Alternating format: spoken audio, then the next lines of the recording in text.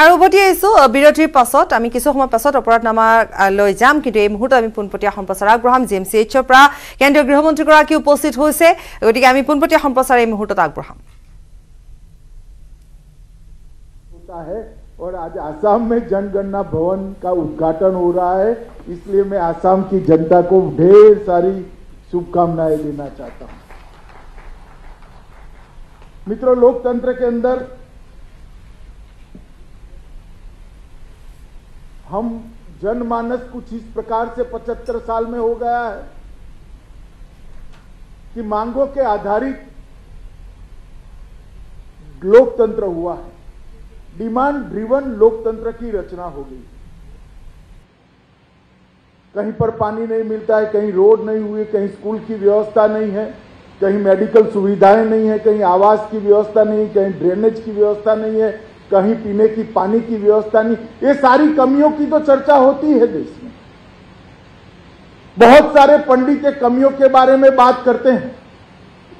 परंतु ये कमियाँ क्यों है, इस पर चर्चा कभी नहीं हुई ये कमियाँ चुनाव का मुद्दा बनती हैं। ये कमियाँ सरकार बनाने और गिराने का कारण बनती है। परंतु इन कमियों से निपटारा कैसे करेंगे इस पर बहुत कम ही चर्चा होती है।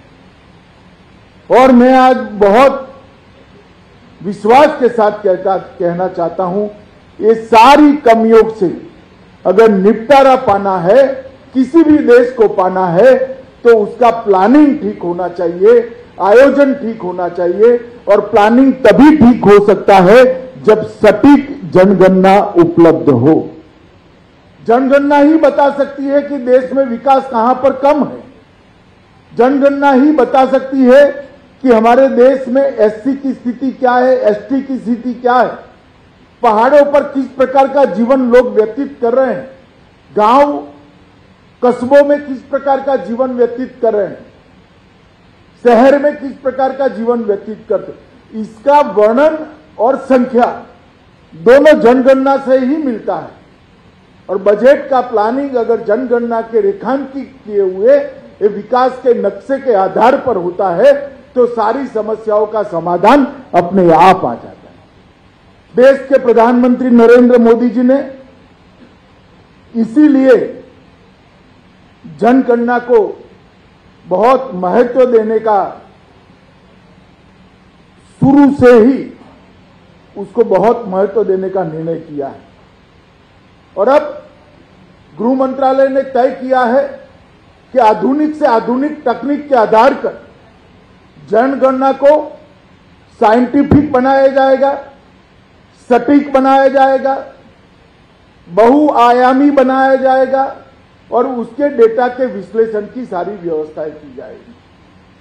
और जनगणना को केवल जनसंख्या और जनसांख्यिकी के आंकड़ों के साथ नहीं विकास के आयोजन का, विकास के प्लानिंग का आधार बनाने के लिए एक नई शुरुआत देश के प्रधानमंत्री नरेंद्र मोदी जी की शुरुआत में हुई। उनके नेतृत्व में हुई। और मुझे पूरा विश्वास है 2024 के पहले भले ही हमें कोविड ने हमारी स्पीड कम की हो, परंतु आरजीआई कार्यालय का संपूर्ण आधुनिकरण हम समाप्त कर देंगे, एक ऐसे सॉफ्टवेयर की निर्मित करेंगे जो अनेक प्रकार के काम एक साथ करेंगे मैं आपको बताना चाहता हूँ कि हमने जनगणना को बहुत हल्के से लिया देश ना ये नेता, नाते हमने बहुत हल्के से लिया समाज नाते बहुत हल्के से लिया जनसांख्यिकी जनगणना, जनसांख्यिकी की तस्वीर हमारे सामने लाती। डेमोग्राफिक चेंज की तस्वीर हमारे सामने लाती। देश का आर्थिक विकास का नक्शा और आर्थिक विकास में पीछे पड़ गए भौगोलिक क्षेत्र और सामाजिक समूहों को इंगित करती है, बताती है। सामाजिक संरचना में होते हुए बदलाव को भी यही जनगणना हमें परिचय कराती है। और भाषा की और सांस्कृतिक परिचय भी यही जनगणना कराती है। इतने बहुआयामी एक्सरसाइज को, बहुआयामी कवायद को दुर्भाग्य से अब तक जितना महत्व मिलना चाहिए था, वो नहीं मिला और मैं बड़े विश्वास से हमेशा कहता हूँ, विकास का खाका खींचना, ये अच्छे जनगणना के रिपोर्ट के अलावे संभव ही नहीं है और आप लोगों की रिस्पॉन्सिबिलिटी है, आप लोगों की ज़िम्मेदारी है कि ये देश विकास के रास्ते पर आगे चल पड़े। शायद और किसी ने जनगणना के साथ जुड़े हुए मेरे कर्मचारी अधिकारियों को महत्व न दिया हो, मगर मैं आपके काम की कठिनाइयों को जानता हूँ। 130 करोड़ लोगों के घर घर जाकर घर की सारी सुविधाएँ उनसे पूछकर, जबकि बहुत सारे लोग नॉन कोऑपरेटिव भी होते, बहुत सारे लोग अशिक्षित भी होते, और बहुत सारे लोगों को ये पूरी एक्सरसाइज बहुत उपयोगी भी नहीं लगती। फिर भी आपने इतने सालों तक इसको ढंग से किया है, जिसके आधार पर आज एक विकसित भारत का नक्शा हमारे सामने खड़ा है। हम आज़ादी के पचहत्तरवें साल में खड़े आज़ादी का अमृत महोत्सव मना रहे हैं। और हम सबने तय किया है, मोदी जी के नेतृत्व में, मोदी जी ने पूरे देश का आह्वान किया है कि देश जब आज़ादी की शताब्दी मनाता हो तो हर क्षेत्र के अंदर देश सर्वोच्च स्थान पर दुनिया में होना चाहिए। इस प्रकार का 25 साल का आयोजन हमने करना है। और अगर 25 साल का आयोजन इस प्रकार से करना है तो देश की छोटी सी, छोटी समस्या पर हमने काम करना पड़ेगा। छोटी सी, छोटी समस्या का समाधान करना पड़ेगा। और इसलिए जनगणना बहुत ढंग से तैयार हो, ये ज़रूरी है। और इसमें, ये भगीरथ काम में आप लोगों का और आपके साथ जो हंगामी रूप से जोड़ने वाले अनेक राज्यों के म्यूनिसिपल कॉरपोरेशन के पंचायतों के जो कर्मचारी है, इनका काम बहुत कठिन है, मैं जानता हूँ। जनगणना आंकड़ों का एकमात्र स्रोत होता है। सरकार की, राज्य सरकार और केंद्र सरकार, दोनों की नीतियों के नियोजन और निरूपण इसी के आधार पर किए जाते हैं। राष्ट्रीय और अंतर्राष्ट्रीय अभिकरणों, स्कॉलरों, व्यापारियों और उद्योगपतियों भी उद्योगपति भी इसी के आधार पर भारत का आगे का विकास का नक्शे का परिचय लेते हैं। और ढेर सारे सर्वेक्षणों से ये जनगणना एक साथ हमें बचा लेती बार बार किए जाने वाले खर्चों से बचाने का भी जनगणना काम करती है। मित्रों अनुभव सिद्ध डाटा के आधार पर जो निर्णय लिए जाते हैं, वो निर्णय परिणाम लक्ष्य होते हैं और परिणामदायी भी होते हैं। उनका लक्ष्य परिणाम की ओर होता है और उसका फल परिणाम के रूप में आता है। इसलिए अनुभवी सिद्ध डाटा निर्मित हो, इसलिए इस बार हमने तय किया है कि आने वाली जनगणना जो अभी रुकी पड़ी है कोविड के कारण, वो जनगणना जब भी शुरू होगी, वो ई जनगणना होगी, इलेक्ट्रॉनिक जनगणना होगी और 100 परसेंट परफेक्ट जनगणना होगी। जिसके आधार पर देश के आगामी 25 साल के विकास का खाता खींचा जाएगा।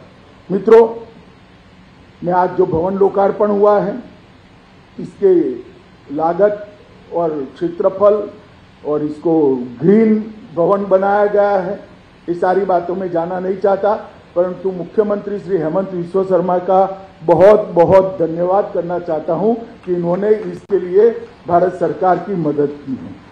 मित्रों, जनगणना का जो काम है, उसको हमने पेपर सेंसस से, डिजिटल सेंसस की ओर मोड़ने का ये ऐतिहासिक वर्ष है। इसलिए इस बार आप सबका काम बहुत कठिन है। अगर ढंग से हम इसको सीख कर करेंगे तो सरल भी है, क्योंकि आज देश में 50 प्रतिशत आबादी ऐसी है, एक बार उसके मोबाइल के अंदर आपने ये सॉफ्टवेयर डलवा दिया तो वो खुद भरकर आपको भेज देंगे। आपको वो टीडीएस काम करने की ज़रूरत नहीं पड़ेगी। और मैं इसकी शुरुआत करने वाला हूँ। मेरे परिवार के सभी सदस्यों का फॉर्म ई स्वरूप में भरकर मैं आपको ज़रूर आपके सॉफ्टवेयर पर भेज दूँगा। और मुझे भरोसा है, देश की जनता भी इसमें बहुत सहयोग करेगी। क्योंकि जनता के अंदर हमने जागृति करनी है कि जनगणना को नए नज़रिए के साथ देखना पड़ेगा।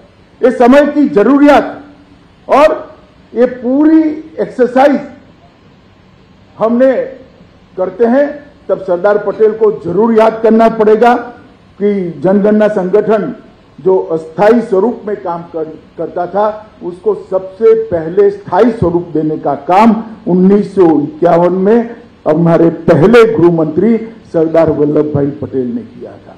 और उस वक्त उन्होंने कहा था कि ये संगठन स्थायी होने के साथ ही भारत के विकास का नक्शा भी स्थायी रूप से बदलता भी रहेगा, आगे भी बढ़ता रहेगा। और अगर हमने ये काम को ठीक तरीके से नहीं किया तो बहुत अनडिजायरेबल रिज़ल्ट भी आए मैं वाक्य आज सरदार पटेल का रिपीट इसलिए करना चाहता हूँ कि देश भर के जनगणना के साथ जुड़े हुए हमारे अधिकारी, कर्मचारी यहाँ पर उपलब्ध हमसे अपेक्षा रखी गई कि इसको सही तरीके से करे और अनडिजायरेबल नतीजों से बचे और प्रॉपर चेक और काउंटर चेक की सुविधा को हम करें। हम एक नया सॉफ्टवेयर भी तैयार करने जा रहे हैं। डॉक्टर विवेक जोशी कम बोलते हैं, मगर धीरे धीरे परंतु कंक्रीट काम करते हैं। हमने इसके अंदर जन्म, मृत्यु रजिस्टर को भी जोड़ने का प्रावधान किया है। लगभग जुड़ी चुका है, मगर इसका उपयोग भी बहुआयामी उपयोग हम आने वाले दिनों में करने वाले हैं। जैसे जन्म होने के साथ ही बच्चे का बर्थ रेट के साथ ये जनगणना रजिस्टर के बैक बैक बैक इंफॉर्मेशन में आ जाएगा। 18 साल का होने के साथ ही जनगणना रजिस्ट्रार के कार्यालय से ही वो मतदाता सूची के अंदर मतदाता ए रूप में रजिस्टर हो जाएगा। मृत्यु होते ही जनगणना कार्यालय से मतदाता सूची से डिलीट हो जाएगा। आप घर बदलेंगे, नई रजिस्ट्री होगी, आप पर एक एसएमएस आएगा, ये आपने रहने के लिए लिया है, आप वहाँ ट्रांसफ़र होने वाले हो, या आपने वैसे ही लिया है, कहोगे कि हम रहने के लिए लिया है, रहने के जाने के साथ ही यहाँ से मतदाता सूची में वो परिवर्तित। अनेक प्रकार के काम इसके अंदर होने वाले हैं जिससे सरकार के अनेक विभागों को एड्रेस चेंज की मुश्किल से बाहर निकल जाना पड़ेगा और किसी ने पहले बर्थ रजिस्टर कराना है फिर मतदाता सूची में नागरिक बनने के लिए जाना है मृत्यु का दाखला लेना है फिर डिलीट हो या न हो मतदान प्रतिशत नीचा रहता रह, नीचा रहता है। ऑटोमेटिक एडिशन और डिलीशन दोनों होंगे।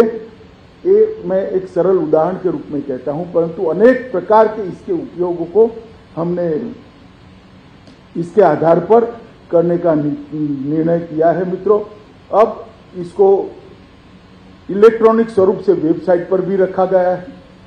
हमारा भाषा का मैपिंग भी आज इलेक्ट्रॉनिक और प्रिंटिंग दोनों स्वरूपों में देश के सामने रखा गया है, जो 2011 की जनगणना का है, इसको अब नियमित रूप से आगे भी रखा जाएगा तो इस जनगणना का भी रखा जाएगा। और अनेक प्रकार के कामों को हम इसके साथ जोड़ने वाले हैं। इसमें बहुत सारी जागरूकता की ज़रूरत है। मगर आप चिंता मत करिए। टेलीविज़न चैनल्स, दूरदर्शन बहुत सारे अखबारों को हम विनंती कर कर जागरूकता लाने के लिए इस बार प्रयास करने वाले हैं, क्योंकि आबादी की अपेक्षित आयु देश की एज क्या होगी और देश की एज के अनुरूप विकास का नक्शा कैसे होगा। जो बॉटम अप अप्रोच है, इससे इतनी चीज़ों का तय होगा और टॉप टू डाउन अप्रोच है, कहाँ पर नीतिगत हस्तक्षेप की ज़रूरत है। सरकार के कहाँ पर हस्तक्षेप कीजिए, कहाँ पर पीने के पानी की व्यवस्था करनी है, कहाँ पर शिक्षा की व्यवस्था करनी है, ये जनगणना अपने आप बता देगी कि यहाँ पर पढ़ना लिखना नहीं जानते, ऐसे लोगों की संख्या ज़्यादा है तो वो क्षेत्र को कॉन्सेंट्रेट किया जाएगा। यहाँ पर एनेमिक लोगों की संख्या ज़्यादा है तो पोषण की दृष्टि से वो क्षेत्र को कॉन्सेंट्रेट किया जाएगा। यहाँ जनसंख्या ही ज़्यादा है। तो उसको फैमिली प्लानिंग की दृष्टि से कॉन्सेंट्रेट किया जाएगा। पॉलिसी के कवरेज और पॉलिसी के कंसंट्रेशन के लिए ये जनगणना बहुत उपयोग करने वाली है और बहुत स्तर पर संसाधनों का निर्माण कैसे हो और संसाधनों का उपयोग सटीक कैसे हो, इसका भी इससे उपयोग होने वाला है। तो मैं बहुत आसान्वित हूँ नई जनगणना जो होने वाली है इससे। और मैं मानता हूँ कि आप लोगों का काम कठिन है, मगर आप पहली बार ई जनगणना करने जा रहे हैं। पहली बार इलेक्ट्रॉनिक रूप से जनगणना करने वाले हैं। जब जनगणना का इतिहास सालों तक लिखा जाएगा, इसमें इस जनगणना में जो हमारे कर्मयोगी भाई बहन सम्मिलित है, उनका नाम सुवर्ण अक्षरों से लिखा जाएगा। क्योंकि जो शुरुआत करता है, दुनिया उसको हमेशा याद करती है। तो मुझे मालूम है ये कठिन काम है, मगर हम सबने मिलकर करना है, क्योंकि देश के विकास का आधार ये जनगणना की सफलता है। आज आसाम के जनगणना भवन का उद्घाटन हुआ है। देश का जनगणना भवन भी अगस्त तक बन जाएगा, उसे मुझे विवेक जी ने कहा है। और जनगणना करने वाले अपने घर में जल्दी पहुँच जाए, ऐसी हमारी भी इच्छा है कि अपने खुद के घर में बैठकर जनगणना का काम करें। आप सभी को देश भर के सभी कर्मयोगी भाई बहन यहाँ पर है। उसको बहुत बहुत शुभकामनाएँ। मैं फिर से एक बार रिपीट करता हूँ, देश के प्रधानमंत्री को, देश की सरकार को, आपके काम की निष्ठा पर पूरा भरोसा है और सटीक जनगणना के आधार पर आप विश्वास रखिएगा दो में जब देश की आज़ादी की शताब्दी मनाई जाएगी, देश हर क्षेत्र में, विश्व में नंबर एक पर होगा। ऐसे भारत की हम सब मिलकर रचना करेंगे। बहुत बहुत शुभकामना और धन्यवाद। वंदे मातरम।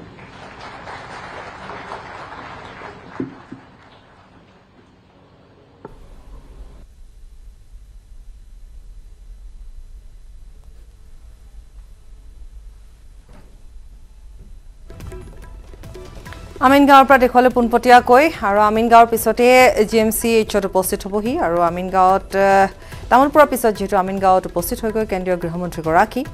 আহ, লোকপিয়ল সঞ্চালকালয়ৰ কাৰ্যালয় মুকলি কৰে আৰু ভাষণ প্ৰসংগত বহুকেইটা গুৰুত্বপূৰ্ণ কথা ইতিমধ্যে উল্লেখ কৰিছে আৰু ইয়াৰ পিছতে ৰাওনা হ'ব জি এম চি এইচলৈ বুলি। জি এম চি এইচত কেইবাটাও কাৰ্যসূচী আছে। গতিকে আজিৰ দিনটোৰ এক ব্যস্ততাপূৰ্ণ কাৰ্যসূচীত অংশগ্ৰহণ কৰিলে কেন্দ্ৰীয় গৃহমন্ত্ৰীগৰাকী।